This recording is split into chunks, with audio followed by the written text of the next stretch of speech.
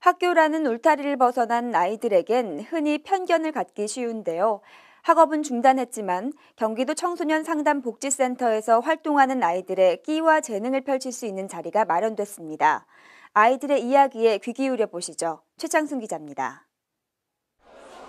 청소년 수련관에 마련된 체험 부스들. 풍선 아트에서부터 목공예와 우드 아트까지 부스 준비에 분주합니다. 꽃누름이 준비에 한창인 장은지 양도 지난 8월 검정고시 합격하고 홀가분한 마음으로 참가했습니다. 특별 프로그램에서 배운 것을 친구들을 위해 하는 건 처음입니다.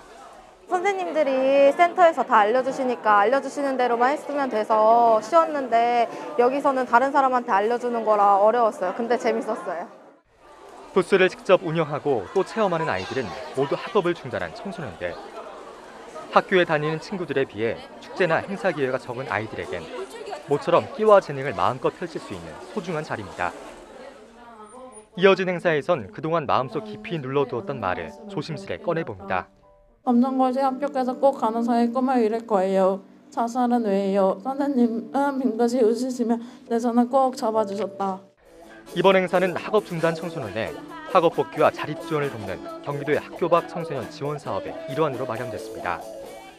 1년 동안 함께 해밀 교실을 통해서 그 배우고 또 닦은 것들을 좀 같이 모아서 함께 이렇게 자랑도 하고 또 같이 즐기고 또 신나는 그런 시간을 갖고 싶어서 학교라는 울타리를 벗어나 모래알처럼 흩어진 아이들에게 더 이상 혼자가 아니라 함께하는 사람들이 있다는 것을 느끼게 해준 자리가 됐습니다.